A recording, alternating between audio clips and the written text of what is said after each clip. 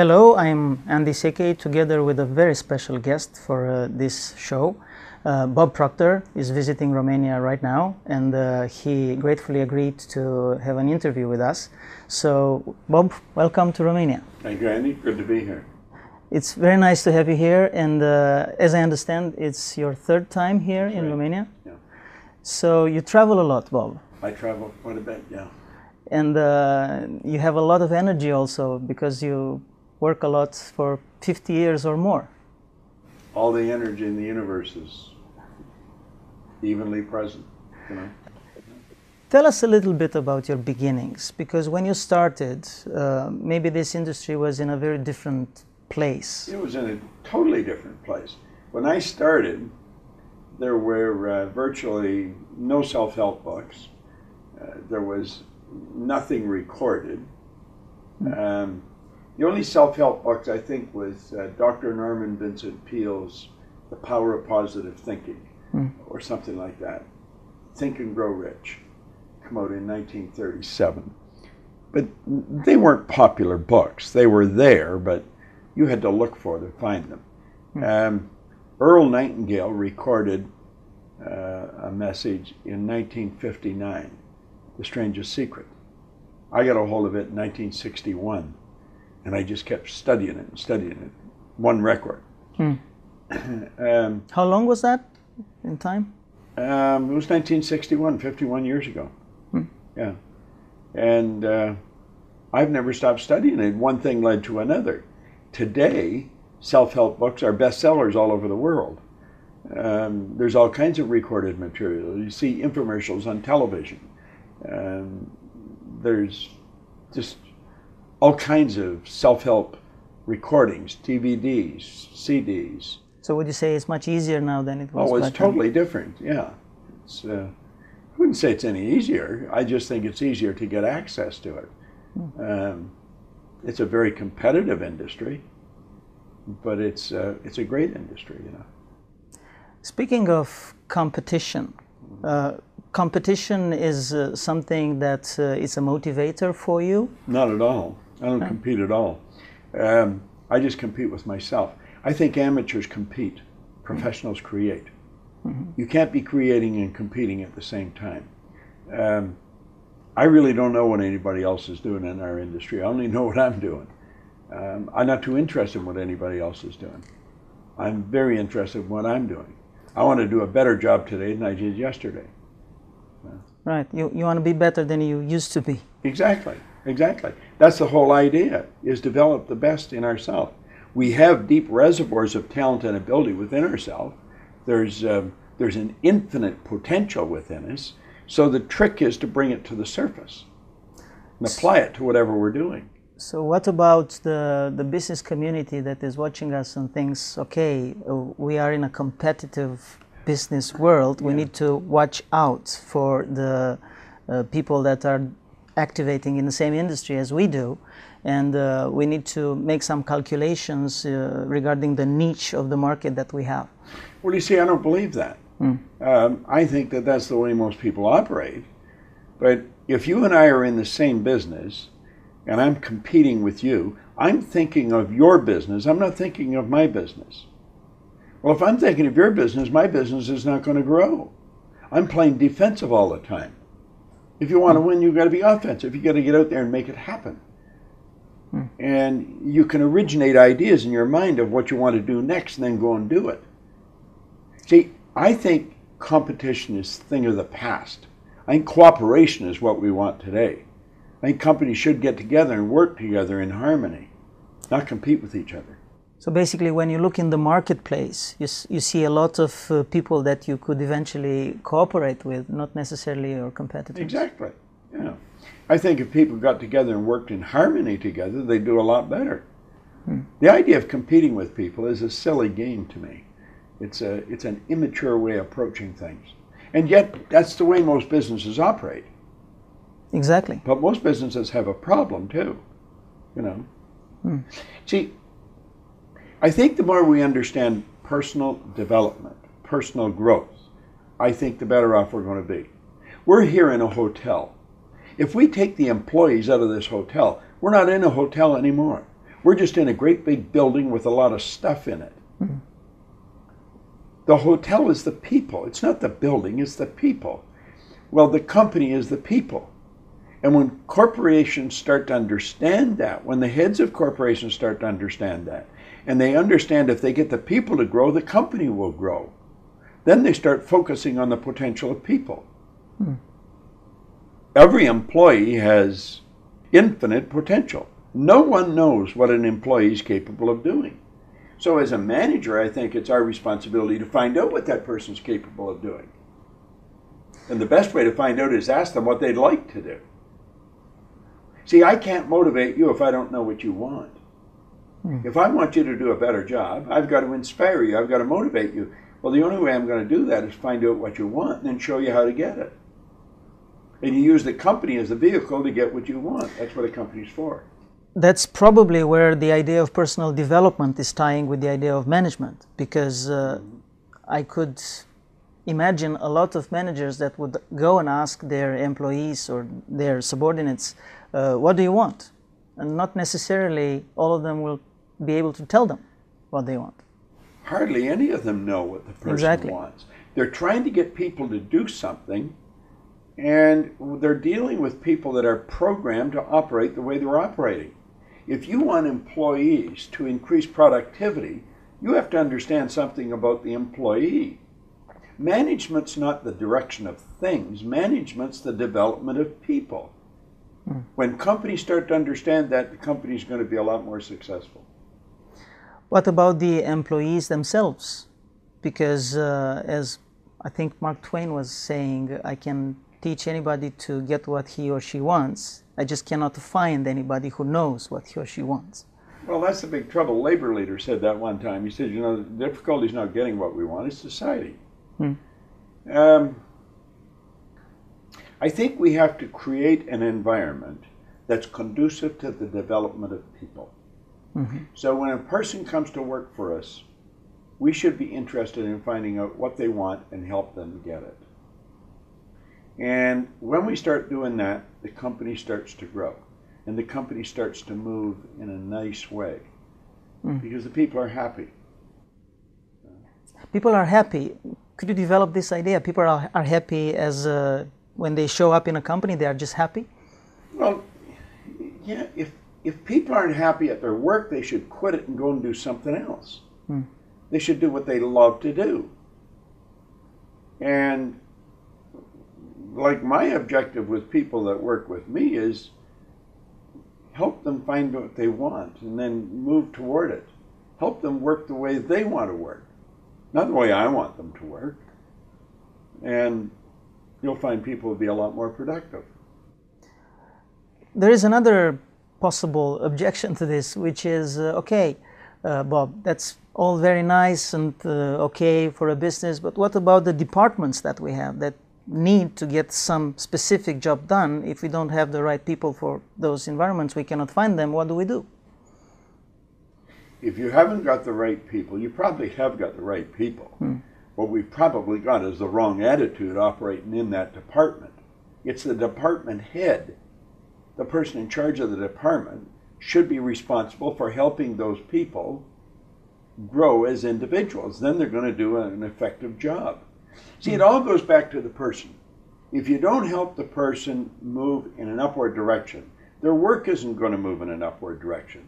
If you've got people are doing things they don't like to do it, they're not going to do a good job. Hmm. So we've got to be more selective about the people we pick to do the work, and then we have to help them figure out what they want and move toward it. It's a total shift to the way the world has worked. But the world hasn't been working right. Hmm. All you have to do is take a look at the economy. The economy's in a mess. Why? It's not because there's not enough resources, there's an ample amount of resources. We're dealing with an infinite source of supply. But we're acting like we're dealing with a limited supply, and we're not. The question is, how do you convince people to believe that? You educate them. Hmm. But you got to get away from the idea of education that we've been operating with.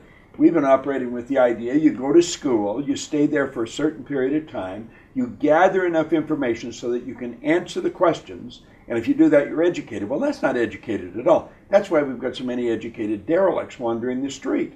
You get people with degrees that are ineffective. Education comes from the Latin educo, meaning to educe, to develop, or to draw out from within. Mm. That's what education, real education is. Our educational system is on the wrong track. And if the educational system's on the wrong track, then the training systems in the company, which is an educational system, is on the wrong track. What we should do is stop and evaluate what, what are we doing? Hmm. We want to get this result. Who's going to get it? The people. Well, what do we know about those people? Short of their name, their height, their weight, we probably don't know much about them. You go right through our educational system and you learn nothing about yourself. So when we go to work, we don't know anything about each other. It comes right back to understanding ourselves. So basically, this is what your work is all about. That's exactly what it's all about. Yeah. Yeah. And uh, speaking of uh, education uh, of the individual and personal development mixed with the, the capacity of a manager to actually uh, have a great team around him uh, and educate it and uh, being effective with it. let's talk about time a little bit we have um, quote unquote limited amount of time as a lot of people say it's limited amount of time i didn't know that but go ahead how much time do you think sh people should invest in their own education um, because uh, if you go and ask someone how much time you invest in your education reading books and stuff like that you'll be amazed not you but other people will be amazed well most people don't spend very much time at all but what we have to understand is we all get exactly the same amount of time. We get all there is. Hmm. Everybody gets the same amount of time. So it's how are you going to allocate your time? Are you going to spend any amount of time understanding yourself? See, I think that that is probably the most important thing. I used to work for $4,000 a year. Now I can earn $50,000 an hour. What's the difference? I'm the same guy. I operate with a different understanding. Hmm. I never knew anything about myself when I was earning $4,000 a year, so I probably wasn't even worth the 4000 that they were giving me. The thing that's changed is I've started to understand myself better. I start to understand my mind. I start to understand why I'm doing the things I'm doing and how to change. And I realize that that's what the value is. That's where the real value is. Because the more I understand me, the more I can bring to the party, the more that I'm going to apply myself to my work. If I don't know myself, I'm really not going to do a very good job regardless of what I'm doing. So basically, the amount of time that you spend for knowing yourself, let's say in a working day, would be I would spend I would spend probably a couple hours a day mm-hmm. studying. And I've been doing that now for half a century. Um, I don't spend the same two hours every day. I'll usually spend a little time in the morning, like I was studying this morning here in this room. Um, I'll study again through the day. I'll study off and on. If I find myself with a break from what I'm working at, I'll take some time and study. Mm-hmm. I don't spend a lot of time watching television. When you're watching television, you're watching somebody else do what they love doing. You're not doing what you love to do. Most people get lost watching television. I was reading one time where the average person between the ages of 2 and 65 watched television for nine years. Nine years. Hmm. Right. A wasted life. Sure.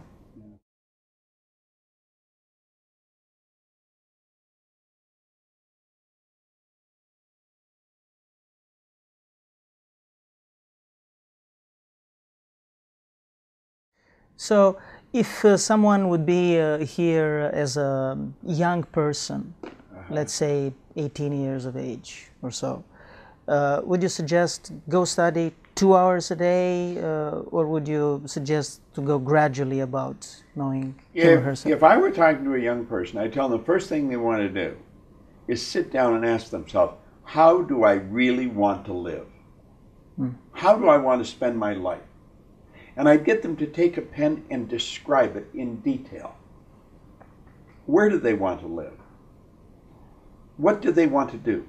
Do they want to travel? Where do they want to travel? What kind of people do they want to mix with? It would be like building a house. You would design the house. Mm. You would design all the different parts of the house. You would want to furnish the house. Well, that's what we should do with our life. And then sit down and say, now, how can I do that? Well, they would probably need help because they're describing things that they probably don't know how to do. Where would they get the help? They would go and find someone that's good at doing that and say, Would you help me? Hmm. Right. Is this working for uh, designing a new business, for example? Absolutely, it is. The same thing. Sure. If a person's going into business, they should get help. Andrew Carnegie was at one time the wealthiest man in the world. He's the one that really started the personal development business as we know it today by motivating Napoleon Hill to go out and study 500 lives. He said the accumulation of great wealth calls for power, and power is acquired through highly organized and intelligently directed specialized knowledge. But, he said, the person who accumulates the fortune doesn't have to have the knowledge. In other words, you don't have to know how to do everything. Get other people to help you. So if I'm going to start a business, I would want to go and find somebody that's already doing the business and doing well. I don't want to just go to anyone. Hmm. It's like when a person starts on a job, if they went to the boss and they said, Who's the most successful person in this business? And then go and ask them, What should I do? Tell me six things I should do every day. But they don't do that. They start on a job and they look around, they see how everybody else is doing their job, and they start doing the same thing. Maybe none of those people know what they're doing. We want to pick the people that have demonstrated by results they know what they're doing and get help from them. So basically, this is a, a seeking of mentors approach. Absolutely. Yeah. Absolutely. Yeah. And do you have any suggestions on how to go about that, like um, looking on around on the results and make a phone call and ask the people, or how do you yeah, go about that? ask questions, find out who's really good at it. Um, I have found people that are really good at something are also very willing to help someone else. Hmm. And if I was going in to the business I'm in today, I would go to someone who's really good at it. That's exactly what I did. When I started in the business, there weren't many people in this business, but Earl Nightingale was in the business. Hmm.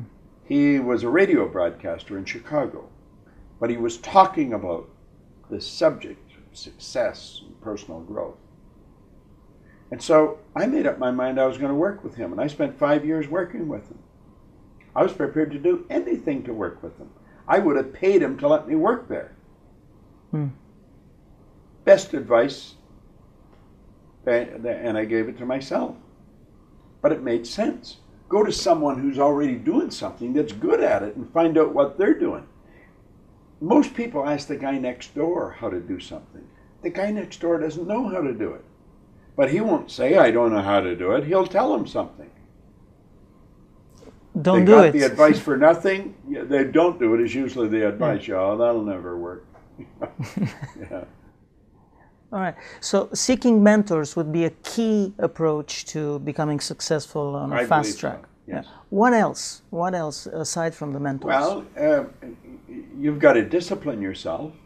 You've got to have a goal, but you have to discipline yourself. Discipline is when we give ourselves a command and then we follow it. Say, This I will do, and then stick to it. See, we're conditioned. We're conditioned genetically, and then we're conditioned environmentally. You look the way you look because of your genetic conditioning. That's passed in the genes from one generation to the next. And your appearance tells a lot about you. You know, you can trace it back. yeah. Um, so we've got to start to understand that we do have this conditioning, and if we let it just run its course, we're probably not going to do much better than we're doing right now. Hmm. So I've got to overcome the conditioning. I've got to decide what I want. Then I'm going to pick out the proper people to help me. Discipline and mentorship. It's, it's actually a very simple process. It's just that Sounds only like about it. three people out of a hundred do it. Hmm. There's, it's not complicated.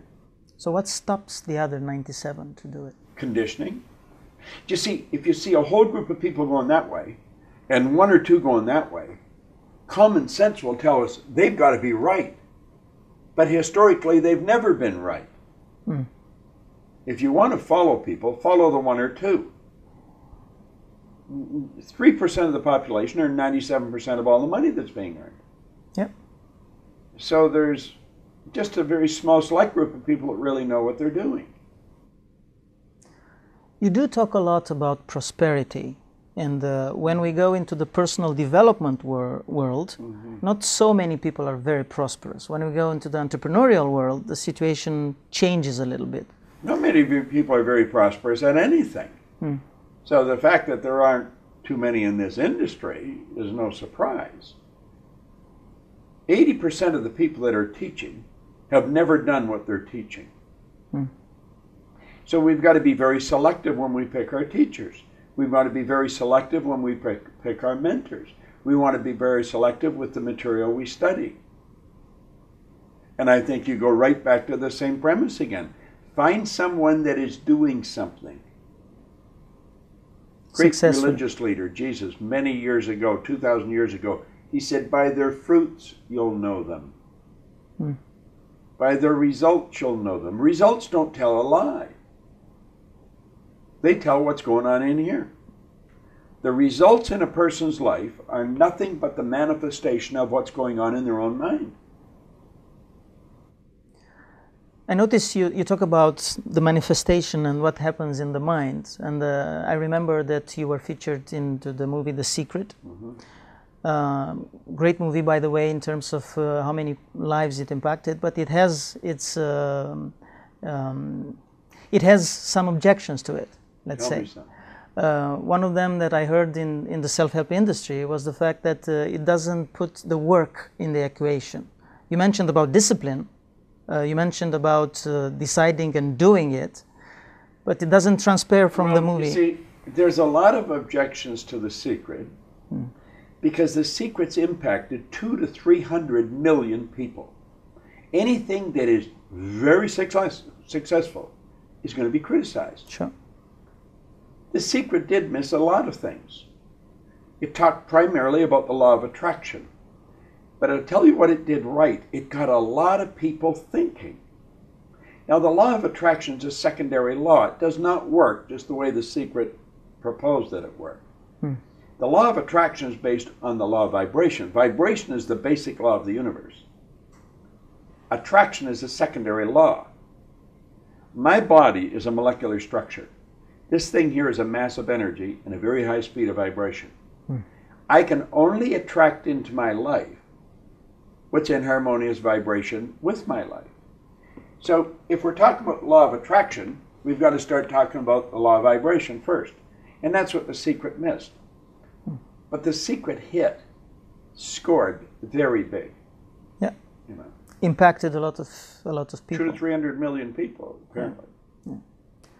So, if I am a beginner entrepreneur and uh, I want to develop uh, at a high rate, at a high speed towards my, my goals and my, my vision, what would you say would be the top three to five things that I need to look, look at in the beginning? Well, the first thing you want to do is ask yourself where you're going, what your goal is, hmm. what your target. You can't just say, I'm going to go west, because it doesn't matter how far you go, you can still go west. You got to have a specific target. How much business do you want to do in a given period of time, in a year, in two years? Where do you want your business to be two years from now? Hmm. Drawing board. We go exactly. Hmm. And whatever you settle on, then you should maybe double it. Because I think we shoot too low. We don't have to know how we're going to get there, we only have to know we're going to get there. Hillary did not know how to get to the top of Mount Everest. He only knew he was going to the top of Mount Everest. Wernher von Braun did not know how he was going to get to the moon. He just knew that they were going to the moon. The Wright brothers didn't know how to get a plane in the air. They just knew they were going to get a plane in the air. So if you're starting your own business, you have to ask yourself, where do I want the business to go? Hmm. And take your pen and set a target. Say, this is the result I want to get. And In minute is details? in as much detail as you can. Right. But you have to understand that you're making the plan in here. And don't try and get caught up in how it's going to happen. What's going to happen is what's important. How it's going to happen, we don't know. We just know it will happen. So that would be the first That would be Thing. the first thing I would suggest. The second thing is find out somebody who's already very successful in that business. Watch them, ask them, study them. What are they doing? And then do exactly what they tell you. Even though it may cause you to feel uncomfortable. Hmm. Most people won't follow direction. So you've got to understand if you're going to somebody that's very successful in the business and they say, do this, then you should do that. Until you find out they're lying to you or they don't know what they're talking about. And you pretty well do know that they're talking about because they're getting the results. It's highly unlikely they'd lie to you. So do exactly what they tell you. See, I was very fortunate. I had a, uh, a mentor who started to teach me this. He said, if you do exactly what I tell you. And I did. And I got the results. If I'm coaching somebody now, I'll say, do exactly what I tell you. And if you don't do it, then I'm going to quit coaching you because I'm wasting your time and mine. And I don't want to waste my time. By the way, what was your inside reaction when the person, the mentor, was saying, "Do exactly this," and uh, you were not used to it? Uh, it was a bit. I thought he was being very arrogant. Um, and I felt like telling him to go to hell. But he asked me a question. He said, Your way's not working. Why don't you use mine? And you know, that just seemed to make sense. Hmm. So I thought, I'm going to do what he tells me until I find out he doesn't know what he's talking about or he's lying. He wasn't lying and he didn't know what he was talking about. How long it took you to actually realize that? Almost immediately. that immediately? the reason it didn't take long. I was earning four thousand dollars a year. A year later, I was earning one hundred and seventy-five thousand dollars a year. Hmm. That didn't just happen in a day. That happened over the year, but it happened very fast. hmm In fact, I'm still sort of shocked by it. I wanted to know what happened, and that's why I, I've never stopped studying it. How did I change so fast? I had no formal education. I had two months high school. I had no business experience. So how, how did this all happen?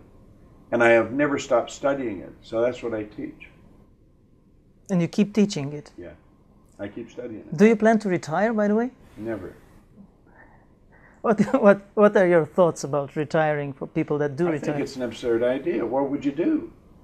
Retire means retire, pull back from life. Why would you want to do that? Hmm. The, the, the very idea doesn't even make any sense to me. Usually, when people retire, they die very quickly after that. Hmm. Well, I'm not ready to die yet, so I don't think I'll retire. Do you have any thoughts on how long are you going to live? Mm, no, probably 100, 110, something like that. Hmm. But I don't know. But keep working. That working. really doesn't matter. It doesn't. No. What matters is I'm here, it's now, and I'm enjoying my life right now. What's the most important thing about your work? The most important thing about the work is how I do it. I want to make sure I'm doing it as well as I can. I want to give it everything I've got. I know if I do that, the person's going to get the message. And uh, what's the most important thing about the person getting the message? What would be that message? Well, the most important thing is, I think, if if I'm doing a program, is to inspire them to want to know more. Hmm. if you inspire a person to want to know more, they'll get it. You know, so you're you're sort of waking them up. I think most people are in a deep trance. You know, they they they don't understand that they can live a much better life. See, I think it's normal and natural for us to want to live a better life, want to get better results. Everybody wants it. Our problem is at the same time we want it, we think, but I can't do it. Well, the truth is you can do it. You got to get rid of the idea I can't do it and focus on how you can. Hmm. What about a business? And that would be a closing question from me. In a business realm, they say, many people say, that uh, profit is the thing we should focus on.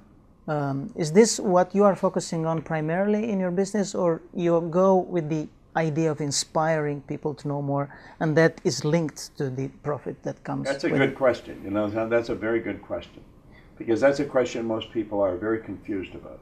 Yeah. Profit is the first order of business. Yeah. It's very important because if you're not earning a profit, you're going to go out of business. However, it's not the purpose of any human organization. The purpose of all human organizations is to make life more meaningful. Life of yourself, of, of other people too. That's right. Yeah. Add to the meaning of life. Profit is the first order. If you're not earning a profit, you're going to go out of business. But that's not the purpose. Hmm. The purpose of business is to make life more meaningful. And I think if you focus on the purpose, you'll earn the profit. And the profit is used for two things. One is to make you comfortable, and the more money you have, the more comfortable you can be. And the next one is to expand the good you do far beyond your own presence. It's the only two things money is used for. These two. Yeah. So, thank you very much, Bob Proctor, for your My pleasure. interview enjoyed it, presentation. Thank you. you very much. Bob. Good.